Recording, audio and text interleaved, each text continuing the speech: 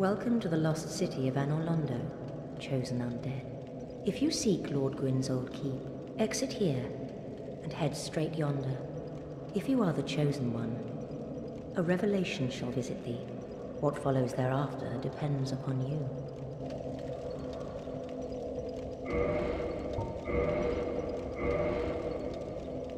Hmm, what is it? What am I? I am the keeper of the bonfire. If not for me, what beacon would there be in this lost city? A gatekeeper and a guide. That is my calling.